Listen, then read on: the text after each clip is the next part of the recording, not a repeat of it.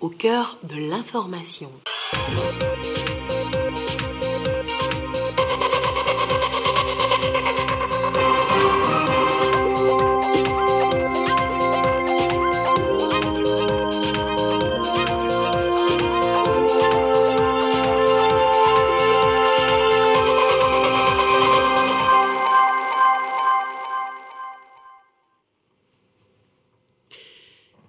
Le digital est inscrit en lettres d'or dans la feuille de route gouvernementale. Dès l'apparition de la pandémie au nouveau coronavirus, le numérique n'a autant été sollicité pour fournir des services sociaux de base à la population. Idriss Déby Itno n'est plus. L'homme était un partenaire solide des Occidentaux, Paris en tête dans la lutte contre le djihadisme. Son décès aura-t-il un impact sur la lutte antiterroriste? Vous le saurez tout à l'heure. Et puis, le Togo a adopté une nouvelle stratégie pour la vaccination de masse. Plusieurs stades de football sont sollicités pour cette opération. Comment se déroule-t-elle? Robert Potogbe et Nessor Mouzou nous feront le point dans cette édition. Voilà pour le sommaire. Où que vous soyez, vous êtes en direct sur la télévision togolaise. Bonsoir, bienvenue dans cette édition. Le numérique a révélé toute son importance ces derniers temps, surtout dans la lutte contre le Covid-19. Dès le début de cette crise sanitaire et dans un souci constant de respect des mesures barrières, le numérique a apporté des solutions pour assurer la continuité de l'administration publique. Les services numériques déployés pour répondre aux besoins imposés par la pandémie sont salués par le coordonnateur résident du système des Nations Unies au Togo, Novici par exemple. Retour sur des solutions apportées par le digital au cours de cette pandémie avec Dodo. L'héritage qu'aura laissé un jour la crise sanitaire au Covid-19 au Togo serait la croissance numérique. Le pays n'a jamais eu aussi recours aux technologies que ces 14 derniers mois marqués par le Covid-19. La technologie a été utilisée de plusieurs façons pour apporter des réponses sociales rapides à la population ou pour assurer la continuité de l'administration publique. Le secteur numérique togolais s'est réinventé de diverses façons. La première innovation numérique apportée après le premier cas détecté au Togo, c'est la création en avril 2020 de la plateforme Dokita sur les réseaux Telegram et WhatsApp pour informer sur la maladie et les dispositions à prendre. Dans le même mois, Novici a été lancé pour apporter un soutien aux populations affectées par les restrictions sanitaires. Ce programme a été d'une grande aide pour les travailleurs de l'informel et est essentiellement mis en œuvre de manière digitale ce qui a favorisé un transfert rapide, transparent et traçable des ressources financières accordées aux bénéficiaires. L'initiative a d'ailleurs eu un écho favorable en Afrique. Aucun secteur ne pouvait plus se passer du numérique avec la distance sociale qu'impose la pandémie. En juin, avec la reprise progressive des activités, le FAIEJ a mis en place une plateforme numérique de financement des jeunes entrepreneurs. Une plateforme conçue par l'incubateur Nunalab pour limiter les effets de la pandémie sur les jeunes entreprises. S'en est suivi en juillet 2020 du lancement du programme de crédit numérique Yolim. Le programme offre un crédit digital à taux zéro au profit des agriculteurs togolais. Les paysans enregistrés disposent de 96 000 francs CFA de bons d'achat électroniques pour l'achat d'intrants, de pesticides ou la location de tracteurs. Très actif dans le combat contre le coronavirus, le gouvernement lance en septembre une application de traçage des cas contacts du Covid-19, un outil de santé publique qui a permis de suivre les traces des cas contacts et d'alerter via des smartphones, le tout dans l'anonymat. Avec le démarrage de la vaccination, le Togo a également innové en mettant en place une plateforme d'enregistrement en ligne, ce qui facilite aujourd'hui l'enrôlement et la vaccination. L'administration publique, les universités les lycées d'enseignement technique général ou professionnel sont entrés dans cette dynamique. Les partenaires du Togo ne sont pas restés en marge de cette digitalisation et transition numérique. Le PNUD a même octroyé des fonds à l'École nationale d'administration pour sa transition digitale et des équipements audiovisuels et informatiques pour accompagner les cours en ligne à l'Université de Lomé. C'est sans compter des initiatives privées qui ont développé l'économie numérique à l'ère du Covid-19. D'après le coordonnateur du système des Nations Unies au Togo, le pays a fait de la transformation numérique l'un des socles de sa marche vers l'émergence. Sur le blog de l'organisation, Damien Maman apprécie les outils numériques mis à contribution par les autorités togolaises pour lutter contre le Covid-19 et protéger les plus vulnérables. Avec les résultats significatifs enregistrés dans le domaine, le coordonnateur encourage le pays à garder le cap pour toucher le plus grand nombre de personnes avec les plateformes numériques. Sans doute, le secteur numérique est l'un des moyens les plus prometteurs pour fournir une assistance sociale à la population, surtout vulnérable en cette période de pandémie. Dans ses propos, le coordonnateur du système des Nations Unies rassure sur l'engagement de son institution à soutenir les initiatives locales qui utilisent les TIC pour surmonter les barrières géographiques et sociales dans la fourniture des services sociaux de base.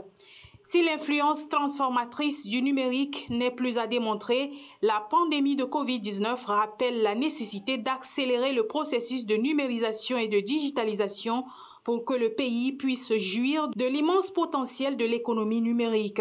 Le digital est d'ailleurs au cœur des actions gouvernementales et l'on comprend le pourquoi il est prévu un budget conséquent dans la feuille de route 2020-2025 pour davantage développer le secteur.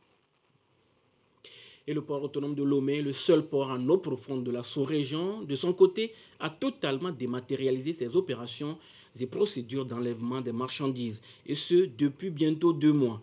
L'institution donne jusqu'au 3 mai prochain à ses clients pour se conformer à la nouvelle donne. Encore 13 jours. Les procédures à suivre dans ce sujet de Equesala. Depuis le 4 mars 2021, la totale dématérialisation des opérations et procédures d'enlèvement des marchandises est effective au port autonome de Lomé. L'institution a fait recours à cette option pour permettre à ses clients de gagner en temps, mais aussi en argent. Plus besoin de se déplacer au port autonome de Lomé pour être servi. Tout se fait désormais via Internet. Pour des échanges d'informations et de documents, les clients du port devront simplement se connecter au site https ipaltogo.com et sur la procédure pour ceux qui disposent déjà d'une habilitation au niveau de la plateforme portuaire, il leur suffit de taper leur code client suivi de leur mot de passe. Les opérateurs économiques ne disposant pas encore d'habilitation peuvent faire la demande auprès de la direction commerciale par email sur togoport.togoport.tg ou par téléphone sur le numéro 22 27 02 96. Le port autonome de Lomé a aussi mis en place un site pour permettre à ses clients de payer en ligne leurs anciennes et nouvelles factures. Et ce n'est pas tout. Des opérateurs de téléphonie mobile sont également autorisés à recevoir les paiements en ligne des factures. Il s'agit de Move Africa à travers son service Flouz et le Timoni de Togocom. En plus de cela, le port collabore avec quelques banques, notamment la BTCI, EcoBank, Orabank et UTB. Le paiement bancaire reste autorisé. Toutefois, le port autonome de Lomé encourage ses clients à privilégier le paiement en ligne. Cela permettra de faciliter les opérations d'enlèvement des marchandises et ce faisant renforcer les mesures de distanciation sociale pour une lutte efficace contre le Covid-19 au niveau de la plateforme portuaire. Les opérations sont prévues pour démarrer officiellement le 3 mai 2021. Au Togo, la qualité des services financiers s'est nettement améliorée au cours de l'année 2020. C'est un constat présenté par Sani Yaya, ministre de l'économie et des finances, une annonce faite à la première session du Conseil national du crédit. Qu'est-ce qui explique ce résultat? Yata Aratem. La qualité des services financiers s'est améliorée au Togo en 2020 en dépit de l'impact du Covid-19. Les améliorations relevées par le ministre de l'économie et des finances Saniya portent sur l'offre de services de proximité par les banques et les systèmes financiers décentralisés avec l'élargissement du réseau des distributeurs bancaires et l'installation de nouveaux points de service. 22 distributeurs automatiques de billets ont été installés et 9 caisses ou points de service ont été ouverts sur toute l'étendue du territoire. Ces données disponibles en mars 2021 indiquent que l'économie togolaise s'est montrée beaucoup plus résiliente face à la crise sanitaire, grâce entre autres aux mesures d'incitation fiscale et de soutien à la demande prises en compte par le gouvernement. Ainsi, le taux de croissance économique est revisé à la hausse à 1,8%. Cette progression est principalement portée par le regain d'activité dans les secteurs secondaires et tertiaires, a laissé entendre Sanieya. Le taux d'inflation, quant à lui, est contenu à 1,8% et celui de l'endettement est ressorti à 59% du PIB en 2020. L'année 2021 s'annonce sous les meilleurs auspices selon Saniaya. La progression de l'activité économique devrait s'accélérer de 4,8% en lien avec les mesures prises pour une maîtrise des effets de la pandémie et une relance de la croissance économique. Le ministre de l'économie et des finances a affirmé que le montant des nouveaux crédits accordés par les banques en 2020 s'est élevé à 590 milliards de francs CFA. Les crédits ainsi octroyés par les institutions de microfinance ont connu une croissance pour ressortir à 180 milliards de francs CFA contre 179 milliards en 2019. Par ailleurs, a-t-il poursuivi, entre 2019 et 2020, le taux d'intérêt moyen pondéré des crédits bancaires est demeuré à 7,7%. Des progrès salués par le ministre de l'économie et des finances, avec toutefois des efforts à faire dans certains domaines pour mieux satisfaire les usagers des services financiers. Il s'agit entre autres de la lenteur remarquée de la prise en charge de leurs préoccupations. L'ANPGF, toujours proche des PME-PMI, pour ce quatrième numéro du mercredi de l'entrepreneur, elle a présenté ses canevas et plans d'affaires actualisés à ses partenaires techniques.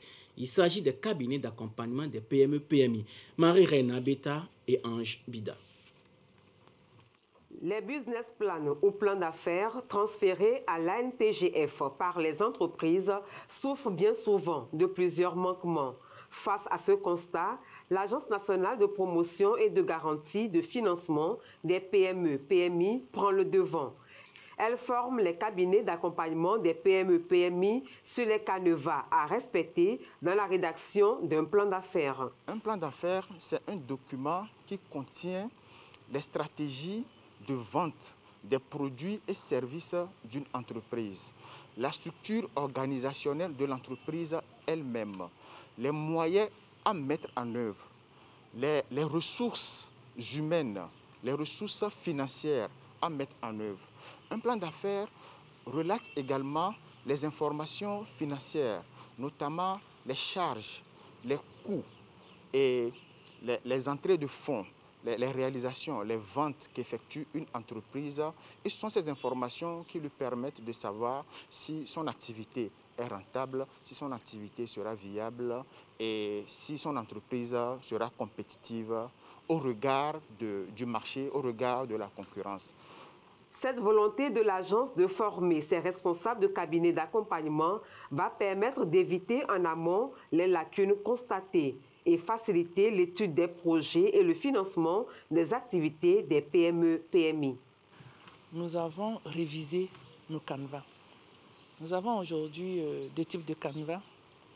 Les canevas qui concernent les entreprises déjà en activité, qui existent déjà, et les canevas pour les, les entreprises qui démarrent, j'ai nommé les start-up.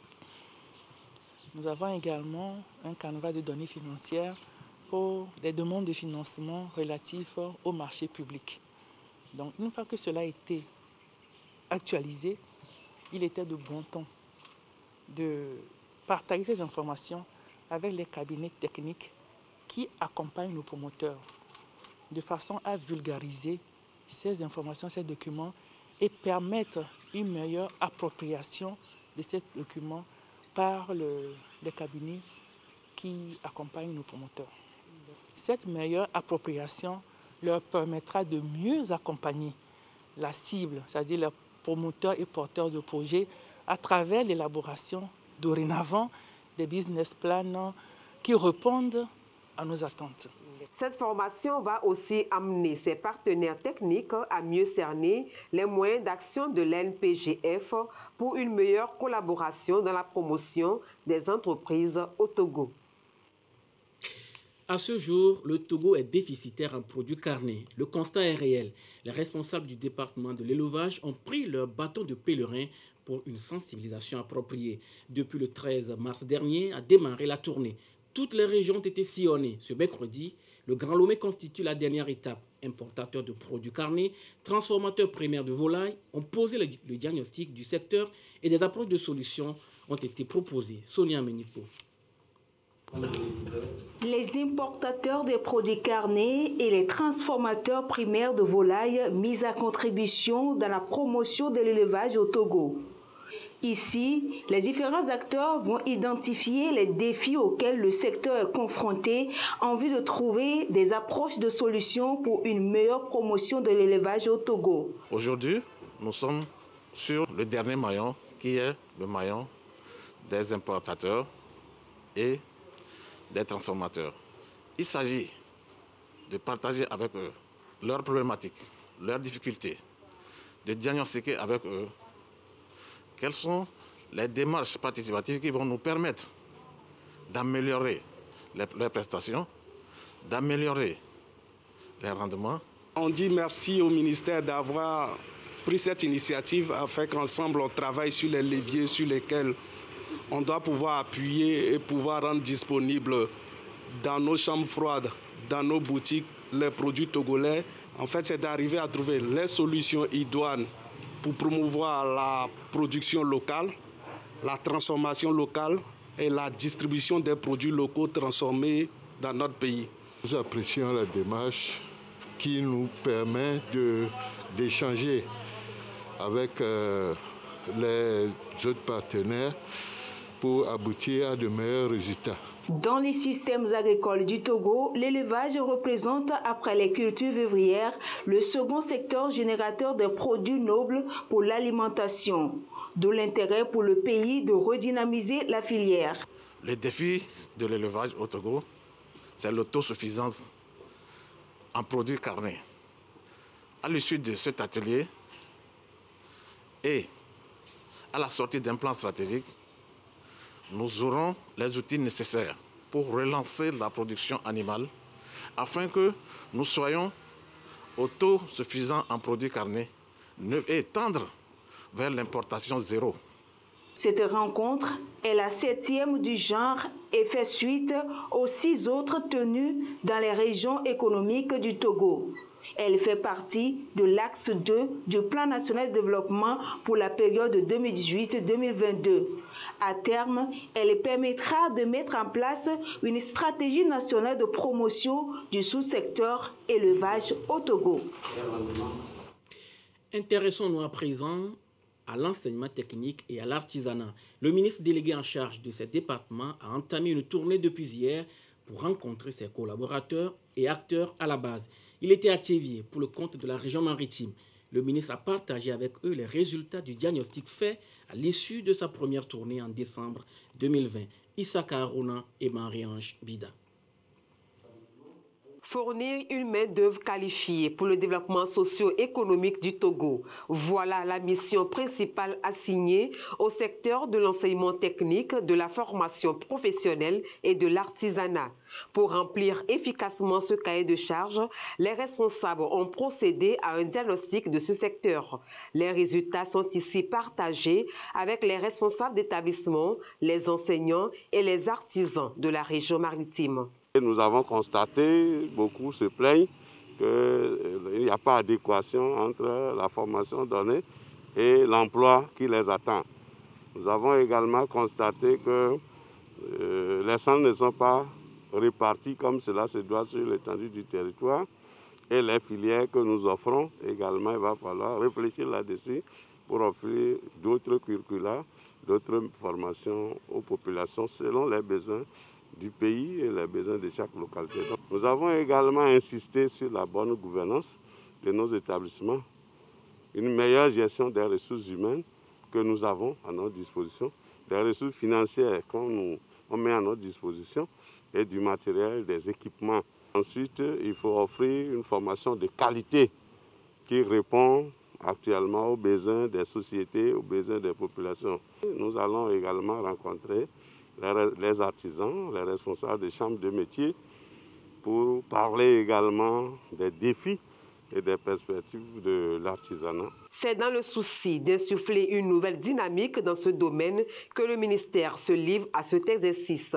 Des documents de travail ont été mis à la disposition des établissements publics et privés de la maritime. Ces documents permettront non seulement aux formateurs d'avoir à leur disposition des exercices pour essayer d'amener les apprenants à s'entraîner, mais en même temps pour les apprenants eux-mêmes, c'est un moyen pour eux de Cette tournée du ministre et de sa délégation se poursuit dans les autres régions du pays. Elle permettra de recueillir les contributions de tous les acteurs en vue de constituer une feuille de route pour le secteur de l'enseignement technique, de la formation professionnelle et de l'artisanat. L'actualité hors du Togo, avec la mort de Idriss Déby Itno du Tchad, la France perd un allié clé de l'opération Barkhane au Sahel. C'est avec ces mots que la ministre française des Armées a réagi à l'annonce du décès du maréchal. Feu Idriss Déby fut un pilier de la lutte antiterroriste au Sahel. Alors que le Tchad est le plus grand contributeur de la force alliée G5 Sahel, le décès de celui qui a régné 30 ans durant ne va-t-il pas avoir des impacts sur la lutte contre le djihadisme Élément de réponse avec Yatar Ratem.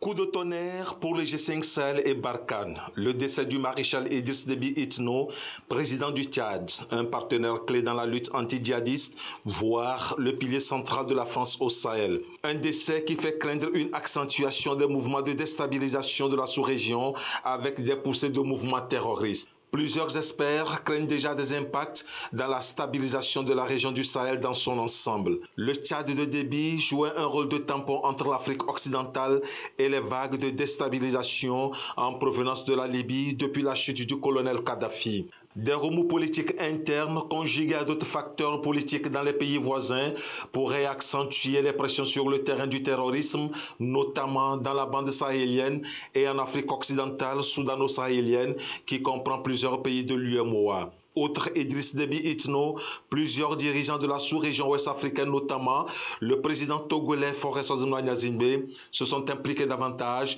dans la lutte contre les poussées terroristes. Une question stratégique majeure à l'agenda de sa rencontre avec le chef de l'État français Emmanuel Macron.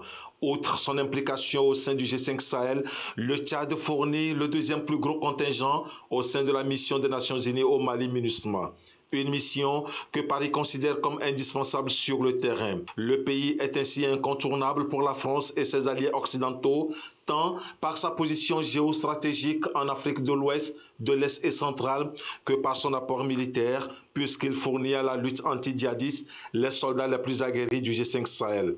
Ces engagements tous azimuts du Tchad pourraient être remis en question avec le décès du président Déby.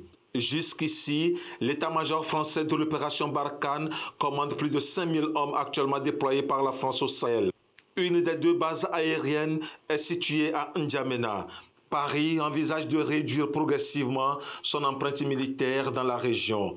Au lendemain du décès du président tchadien Idriss Déby Itno, à l'âge de 69 ans, les réactions se sont succédées en Afrique et à travers le monde des messages qui saluent l'homme d'État que fut Idriss Déby Itno et son engagement dans la sécurisation de la région. Retour au Togo, le pays a réorganisé sa stratégie vaccinale depuis lundi dernier, à ce troisième jour de la deuxième phase de la campagne vaccinale qui se déroule dans les grands stades de football. Une de nos équipes s'est rendue sur le terrain d'Asfosa à Blogame et à Difakota, chose vue avec Robert Potogbe et Elia Banyandao.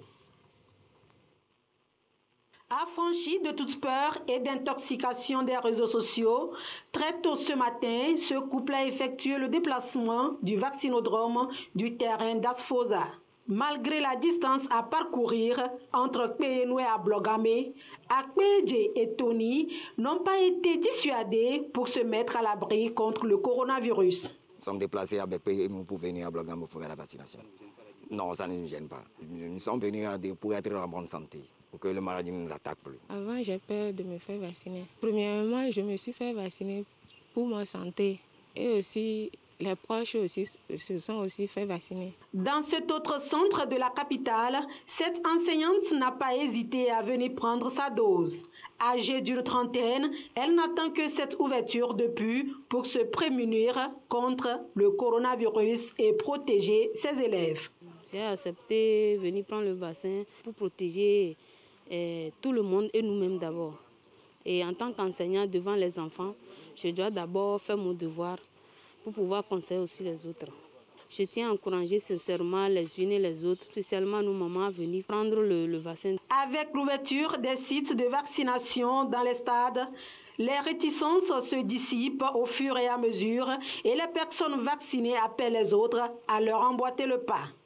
Je préfère me prévenir que de guérir. Ceux qui hésitent encore, ils n'ont qu'à se lever tôt parce que avec le temps, ils vont venir se faire vacciner. Moi-même, qui s'est désigné pour venir se vacciner. J'attends beaucoup des choses sur les réseaux sociaux. Il y a des gens qui parlent. Bon, chacun a sa conscience. Je lance l'appel à toute la population de se vacciner. Cette vaccination, c'est très très important pour la santé de tout un chacun de nous. Euh, parce que nous ne savons pas quand la maladie va t'attaquer et va te faire de mal. Donc, de préférence, je dis à la population euh, qu'ils n'ont qu'à faire le tout possible pour faire ce genre de vaccin-là, parce que c'est très, très important. La nouvelle stratégie vaccinale porte alors ses fruits. Et cette phase prend en compte les deux sexes âgés de 30 ans et plus. La psychose est en train de diminuer peu à peu. Oui, exactement. Les gens, je crois que les gens commencent pas à adhérer à la vaccination. Avec l'initiative des vaccinodromes, on voit les gens venir de loin. Ça veut dire qu'il y a vraiment une grande volonté à se faire vacciner. Je peux rassurer la population que même s'il y a quelques effets secondaires, c'est des effets qui sont tout à fait maîtrisés. Il suffit de quelques antalgiques ou antipyrétiques pour pouvoir maîtriser ces effets secondaires. Dans le Grand Lomé, des lieux dédiés à cette opération sont au nombre de 8 et sont ouverts depuis le lundi 19 avril. Le Togo attend dans les prochains jours l'arrivée de 200 000 doses d'AstraZeneca et 200 000 autres de Sinovac. À Cara, c'est le CHU qui a été retenu pour l'opération de vaccination. Au démarrage de cette vaste campagne de vaccination de masse, notre équipe était déjà sur place. Nestor Mouzou. Pour le moment, il n'y en a pas pour tout le monde. Beaucoup l'ont compris et se sont pressés pour se rendre au centre hospitalier universitaire de Cara, le seul centre retenu pour l'instant dans la région, pour prendre leur dose de vaccin afin de se prémunir contre la Covid-19 l'engouement est bien perceptible. Je suis venue me faire vacciner pour ne pas contacter la maladie parce que c'est une maladie mortelle et tout. Donc, en tout cas, c'est pour ma santé. C'est vrai qu'il faut reconnaître qu'il y a beaucoup qui ont peur, beaucoup. Moi-même, il y a certains qui m'ont déconseillé, mais j'ai dit non. Si l'État dit de se faire vacciner, c'est que c'est pour la santé de tout le monde. Parce que si moi je me vaccine et l'autre ne se vaccine pas, c'est pas bien. Il faut qu'on se vaccine tous. C'est mondial, donc nous devons le faire pour pouvoir nous sauver. Quoi. Quand on donne même des cas, il y a même un an, cinq ans, etc. C'est tout le monde, c'est mondial. Psychologiquement, je suis déjà guéri. C'est la solution pour éradiquer la maladie. Parce que il faut qu'on s'en sorte de ça. C'est un acte civique, il faut l'accomplir. Moi, je pense que c'est une bonne chose. Nous avons la chance que le centre est là. Il faut vraiment le faire. C'est pour notre santé, ça en dépend. Nous devons vivre encore longtemps. Ne pas accepter ceci, c'est être bête. Parce que le gouvernement a pris toutes les précautions hein, pour garder la vie de tout un chacun. C'est gratuit, ce n'est même pas payant. Alors pourquoi refuser ça? Je remercie beaucoup le gouvernement, surtout le président de la République qui a pris cette initiative.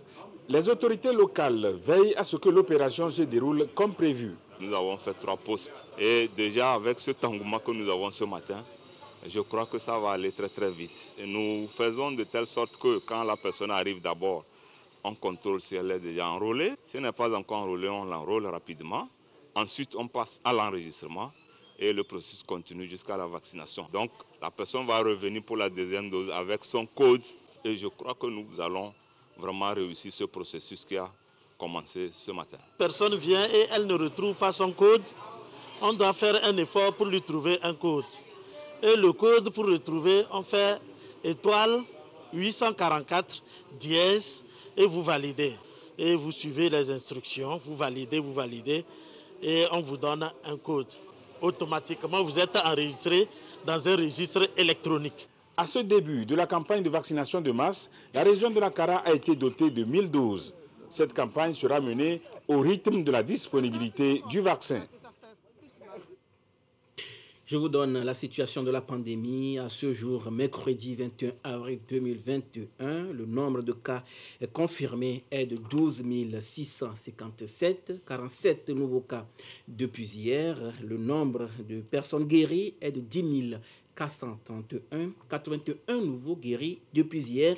Le nombre de cas actifs est de 2105 et le nombre de décès malheureusement de 121.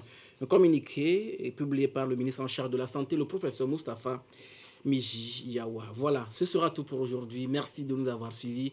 Restez avec nous sur la TVT La Première et gardez toujours le sourire, quoi qu'il arrive. Excellente nuit à tous.